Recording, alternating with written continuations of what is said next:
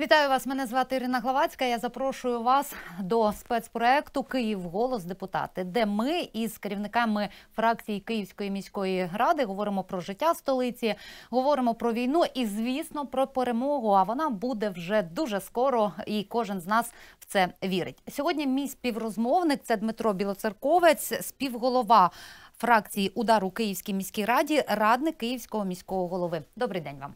Добрий день, слава Україні. Героям слава. Знаєте, з чого я хочу почати ваш, е, нашу з вами розмову? Ви, виявляється, із Криму. Ви народилися і виросли в Севастополі.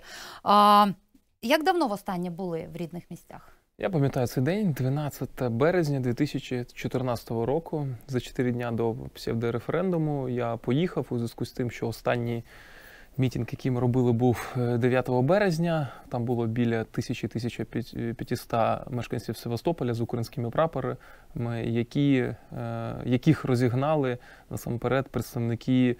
е, Російської Федерації вони завезли 5 тисяч е, російських казаків з Кубані до Севастополя, і які з нагайками просто били людей, розгоняли їх е, силомиць. І також в той день е, е, фактично е, мене забрав російський спецназ, вивозили, е, хотіли утримувати десь, але е, українські гаїшники, тоді ще гаїшники були, зупинили автівку, і я зміг вийти з авто, де мене, куди мене забрали, сів до гаїшників, дав їм по 500 гривень, пам'ятаю, і попросив просто відвести до райвідділку Гагарінського в місті Севастополя.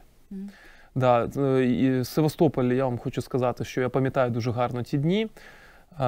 Після перемоги Майдану, е, Євромайдану, 21 лютого, на свій день народження, тоді я поїхав до Севастополя. Я розумів, що основний бій у нас буде насамперед е, за Севастополь, тому що я пам'ятаю ще з 2000 року, коли мені було там 13 років, і перший раз до Севастополя приїхав Путін. І тоді я почув в його словах вже в 13 років моїх те, що він робить сьогодні.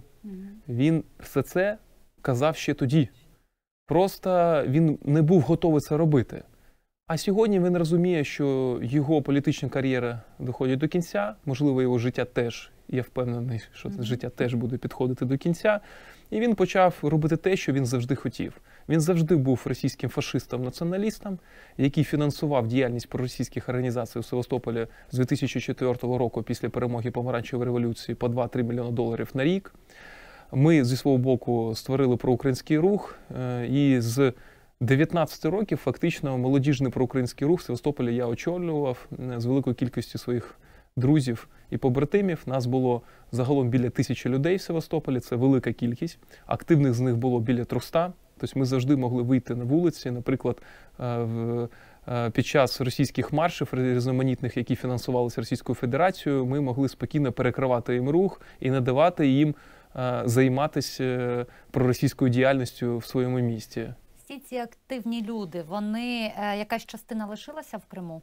Е, Партизанять? Ну, залишилося так. Велика кількість моїх, е, скажімо так, найвищих побратимів вони змушені були поїхати, Мгм. тому що на них велася охота.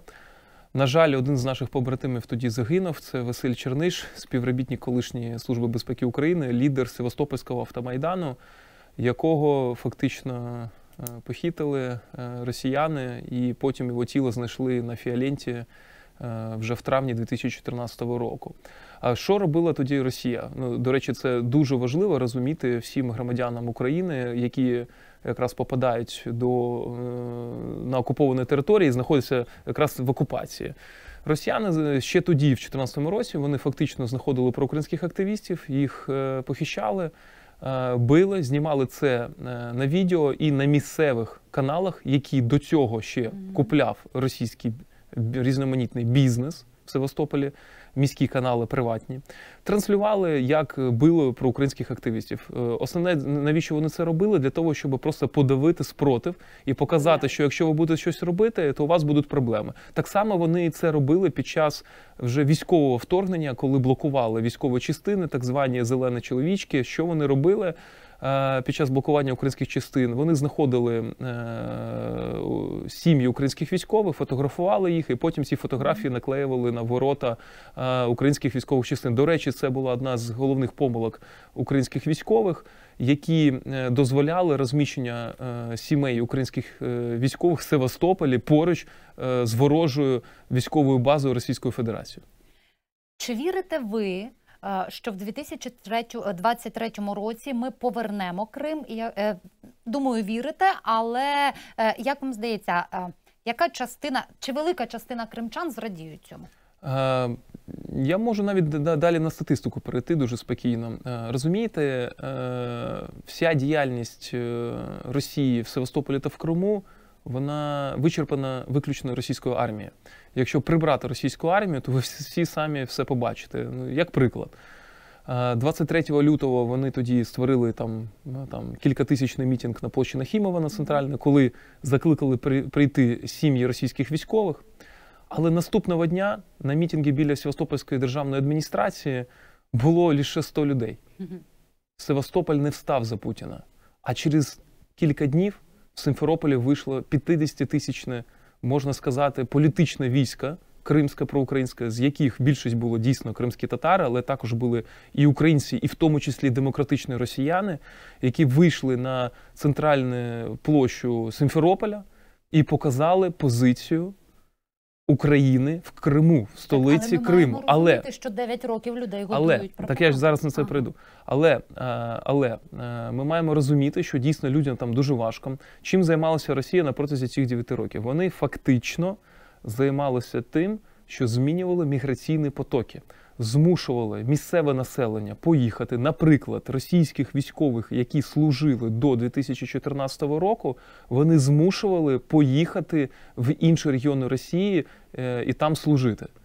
А, е, тому що вони не, тер, не терпіли навіть людей, які пам'ятали український Севастополь і український Крим.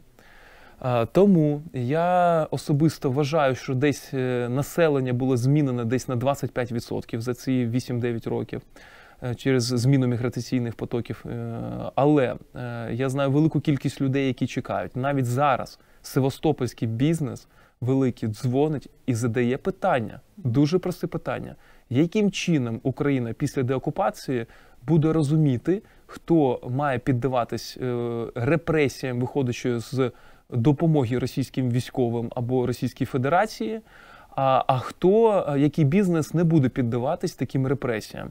І ви знаєте, навіть самі відповідь вони вже надають. Ця відповідь дуже проста. Вона е, від них каже про наступне: якщо ці компанії не займалися, по-перше, рейдерством українських юридичних осіб або фізичних осіб на протязі е, їх об'єктів на протязі 2014-2022 року, а також е, компанії, які не мають жодних контрактів з російською е, військовою машиною. Ось і все. В принципі, я можу сказати, що великий бізнес розуміє, що деокупація буде. Великий бізнес чекає. І навіть якщо сьогодні ми з вами зможемо дати їм таке послання, що не буде жодних репресій, якщо е, вони будуть виконувати вимоги України, якщо Україна офіційно надасть ці послання до Криму, до Севастополя, то ви побачите, Мгм. як е, велика кількість юридичних осіб і великих компаній Криму та Севастополя буде просто розірвати контракти там з російськими військовими або російським державним сектором. І ми, до речі, зможемо вже почати тим самим деокупацію, економічну деокупацію е, півострова, і тим самим показати людям, що їм не потрібно чогось боятися. Хочу нагадати, що в 2014 році вони всі казали про якийсь там пояс дружби, якого ніколи і не було. І нам зараз потрібно самим діяти таким чином, щоб чітко давати послання місцевому населенню, що їх будуть чекати після деокупації. Вони цього чекають. Так. Е, Видно, що дуже болюча для вас тема, але давайте повернемося все-таки, не повернемося, а, а почнемо і ту сторінку, яка пов'язує вас із Києвом. Київ за три дня. Такий був план в рашистів. Він не вдався. Київ вистояв. Е, Стоїть ось уже 10 місяців, розвивається. Е, Трохи зараз склад, складний період, але нічого, прорвемося.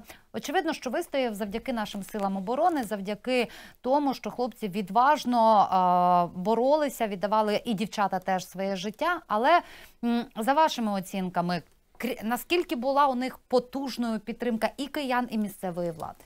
Е, У, у Росії Ні, в наших сил оборони, які захищали Київ.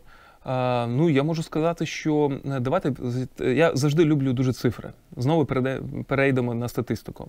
В Києві до активної фази військових дій е, в кінці лютого е, було вночі 3,9 мільйона людей. Після е, початку активних бойових дій найменша кількість людей, яку ми бачили в Києві, е, в березні це було 1,3 мільйона людей. В середньому під час активної фази військових дій в самому Києві е, кількість людей досягала до 1,8 в середньому.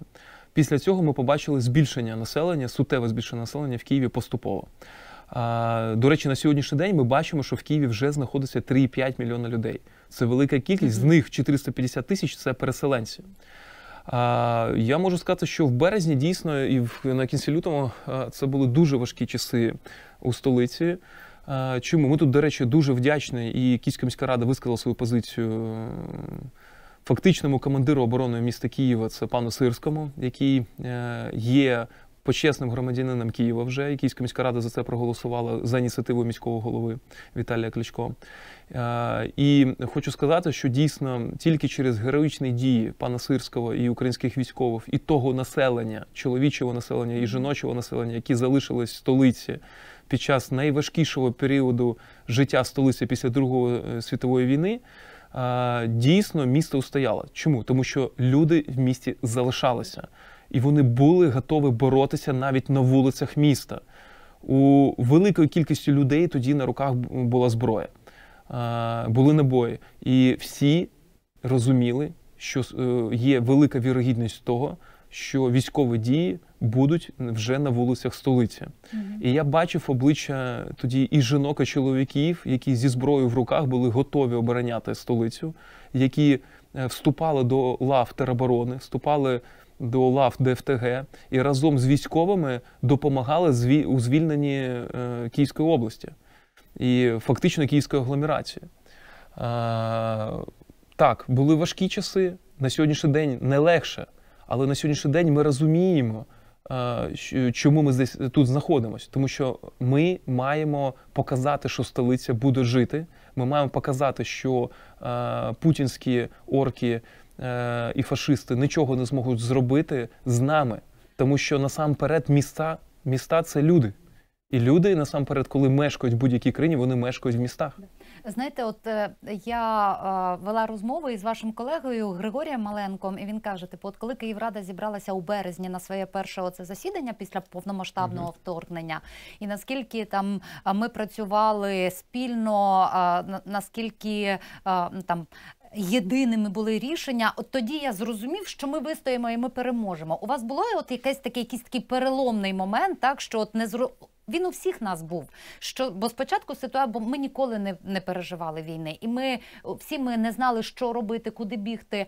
Ось, але потім наступав ось той переломний момент, коли ми заспокоювалися і розуміли, що все буде добре. У вас він був? Звісно, був. Тому що я, у мене є прагнення, прагнення того, що е, кожен киянин зможе вільно пересуватись, в тому числі і по моєму рідному місту Севастополю. Я впевнений в тому, що Україна переможе. Чому? А тому, що наш народ це народ героїв. І народ, який вистояв, не дивлячись на будь-яку зброю з боку Російської Федерації, з боку Кремля, і він дає опір. Опір дають насамперед люди.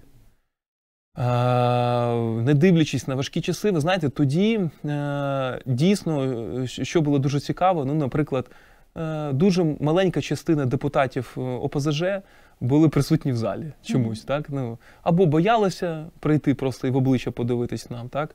Або по іншим якимось причинам. А в принципі, всі інші фракції дійсно були присутні дуже активним представництвом, і Київська міська рада виносила необхідне рішення для міста. Но насамперед е, це було символічно, що навіть не дивлячись на е, обстріли з боку Російської Федерації, і не дивлячись на те, що в 20 кілометрах від столиці вже були російські війська, е, населення столиці. Депутатський корпус Київської міської ради і місцеве самоврядування продовжувало працювати на благо киян і робити все, що від них залежно для того, щоб бути поруч зі своїм населенням, бути поруч зі своїми людьми. До речі, чи маєте інформацію? Там відомо, що певна кількість депутатів Київради е, служать е, зараз на фронті, захищають. Чи маєте інформацію, чи є ті, хто виїхав за межі е, країни? Депутати Так. мається на увазі? Ну так, є деякі депутати, які виїхали, деякі, які виїжджають, переїжджають. Ну, виїжджають, приїжджають, це волонтерські справи. Це ну це нормальна, мені здається, ситуація. да. А от ті, хто ще тоді в лютому березні виїхав, і Ну, я впевнений в тому, що будь-яка фракція, у якій є така проблема, вже на початку наступного року зробить з цього висновки і будуть подання на зняття е, депутатських повноважень насамперед з таких е, депутатів, які жодного разу не приїхали е, виконувати свої зобов'язання перед населенням столиці. Ну, Це, це правильно. Ви теж їздите багато по Україні, в основному на деокуповані території. Розкажіть, е, знаєте, коли того дня, коли ми звільнили Херсон, я дуже я коли дивилася всі. Ті відео мені так хотілося бути ось там. Потім я зрозуміла, що це нечесно, бо я не була там, коли він був окупований, і тому переживати оці емоції радості е, разом з ними було б з мого боку нечесно. Е, Розкажіть, коли ви приїжджаєте на в якийсь населений е, пункт, який був довго під окупацією, які емоції в людей? Що вони кажуть? От які у вас враження? Знаєте, е, е, я бачив дуже велику кількість посмішок, коли люди бачили українські прапори, але так само бачив їх спустошеність. Чому? Кожен з них щось втратив або майно, або близьких якихось родичів, е, які були або вбиті, або поранені, або закатовані е, фашистами з Кремля. Але я бачив е, у них надію, надію на краще майбутнє. Для нас всіх це має бути великим таким уроком стосовно того, що коли війна закінчиться, і ми почнемо разом всі розвивати деокуповані території, ми маємо не забувати про людей, які там були, які там залишились, і які там будуть залишатись, і будуть допомагати розвивати ці громади. Я впевнений в тому, що кожен українець, у кого є така змога, він має подумати про те, а що він зробив для деокупованих міст, тому що людям там дуже важко тому що Росія робила все, що можливе для того, щоб там не було людей. Але вони залишались так само, як і зараз залишаються велика кількість проукраїнського населення в Криму, в Севастополі, в Донецьку, в Луганську. Просто вони чекають. Вони чекають тоді, коли вони зможуть вийти на вулиці зі своїми прапорами, розуміти, що їх там просто не пристрелять. Е, Ці поїздки вони відбуваються. е, Ця допомога вона від міста чи від депутатського корпусу, чи є якісь благодійні фонди, з якими ви співпрацюєте? І Це завжди мікс. Е, У нас є основний фонд. Це українська команда наша, яка завжди акумулює ту допомогу, яку ми можемо знайти і направити до деокупованих територій. Так само, як і окремо саме місто офіційно допомагає деокупованим територіям. Був великий гуманітарний вантаж і не один з боку е, Київської міської ради і з боку мерії. Е, До деокупованого Херсону, і так само ми бачимо, що, наприклад, е, там е, працівники виконавчої влади Херсону, ну, наприклад, вже запитують не лише гуманітарну допомогу, але й людей, які можуть допомогти працювати, фахових людей, які зможуть їм налагодити життя настільки, наскільки це можливо в тих умовах, які на сьогоднішній день в Херсоні типу є. комунальники, так от от І не тільки комунальники, мається на увазі насамперед керівний склад. Ага. Це насамперед менеджери, антикризисні менеджери, які легко орієнтуються в тих критичних ситуаціях, які виникають в деокупованих територіях. Е, На деокупованих територіях потрібні люди, потрібні фахові люди, які е, будуть ефективно допомагати керувати тими ресурсами, які є в містах. А що за вашими оцінками сьогодні потрібно Києву? Яка допомога потрібна Києву? Саме Києву? Саме Києву. Е, Ну, по-перше, нам потрібно більше старлінків. І генераторів. Е, ну, ну, е, чому ну навіть зараз я кажу про таке, Мгм. що як Старлінки, чому насамперед е, вони нам потрібні для критичної інфраструктури. Тоді, коли не буде зв'язку, тоді е, через те, що не буде електропостачання, через те, що так само не буде води і всього іншого, критична інфраструктура все одно має координувати свої дії і має виходити на зв'язок. Ну і тому ми дійсно сьогоднішній день ну дуже потребуємо можливість е, постійного зв'язку е, в ланці критичної інфраструктури. Окрім цього, ну дійсно на ми потребуємо більше е, там генераторів, більше акумуляторних модулів. Ну але ми так само розуміємо, що робити під час е, потенційного блекауту, під час потенційних проблем. Ну, наприклад, е, ми розуміємо, що потрібно буде все одно зробити все, що можливо, для того, щоб громадський транспорт все одно працював.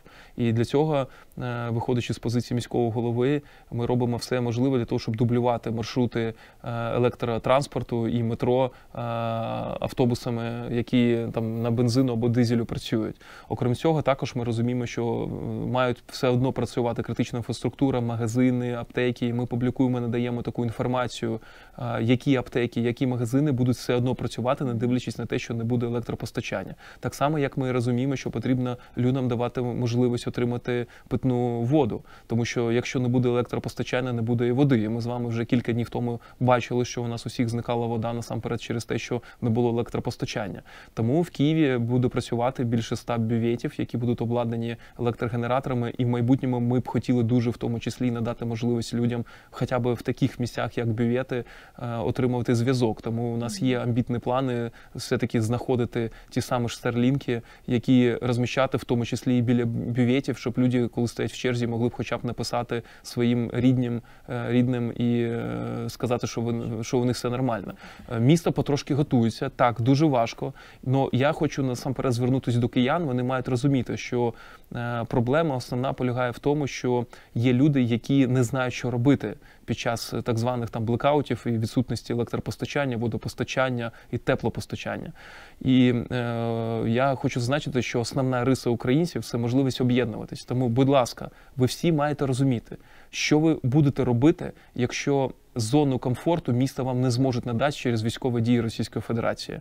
Ви маєте з друзями спілкуватись. У вас усіх мають бути запасні плани. У вас має бути е, екстрена торба вже зібрана е, заздалегідь, а не так, як ви це робили 24, 25, 26 лютого і дуже швидко все збирали. Насамперед, це стосується сімей е, з дітьми.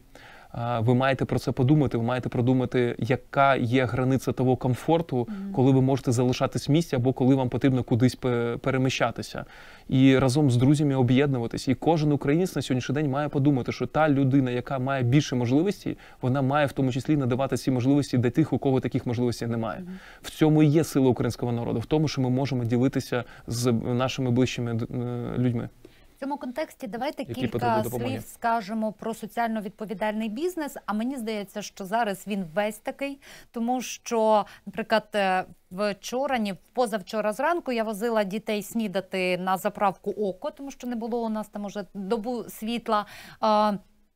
Купа зарядок, люди сидять, працюють Е, надвечір. е, Чоловік теж пішов попрацювати. У, у них е, сів генератор, чи щось були якісь проблеми з генератором, але Будь-яка кав'ярня, будь-який магазин зараз абсолютно відкриті е, підзарядити телефон, підігріти чай, і це класно.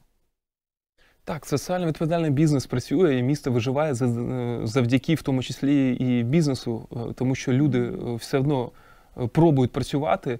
І я знаю велику кількість бізнесу, які зараз працює в нуль. Фактично, або навіть на дотацію, тобто ну, фактично вони дотують цей бізнес.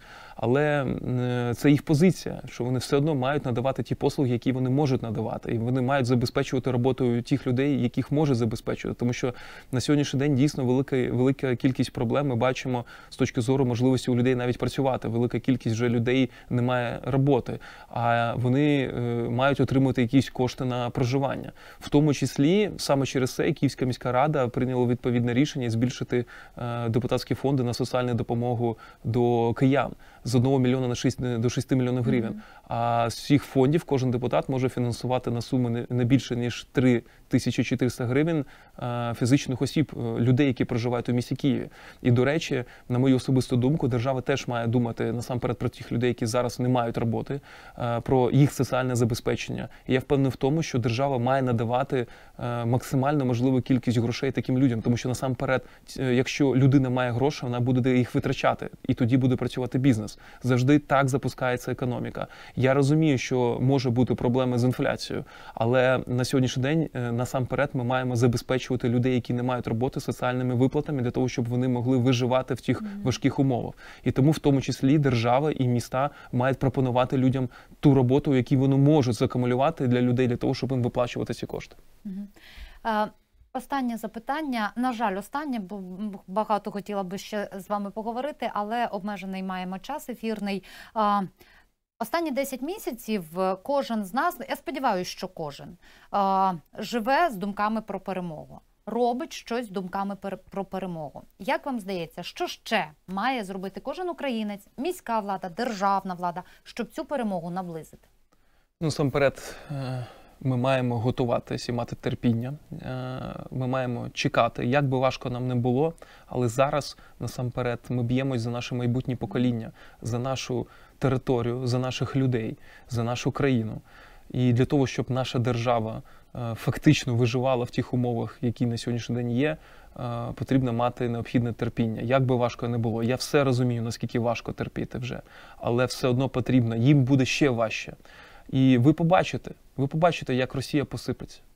Прийде час, і в один день, як завжди, в цій імперії все це закінчується, це закінчиться. Але ми маємо вистояти. Тому я вважаю, що потрібно ще раз мати терпіння, бути активним, допомагати тим людям, які потребують допомоги, і всі ми маємо об'єднуватись в прагненні до перемоги. Е, Зрештою, дякувати Богу і нашим силам оборони, і нашим дипломатам щодня отримуємо сиг- сигнали про те, що розпад Росії, що Росія посипеться. Цей день все ближче і ближче. Дякую вам дуже. Нагадаю, що гостем спецпроекту Київ голос депутати був Дмитро Білоцерковець, е, співголова фракції Удар у Київській міській раді. е, Радник Київського міського голови. Я дякую всім за увагу. До зустрічі.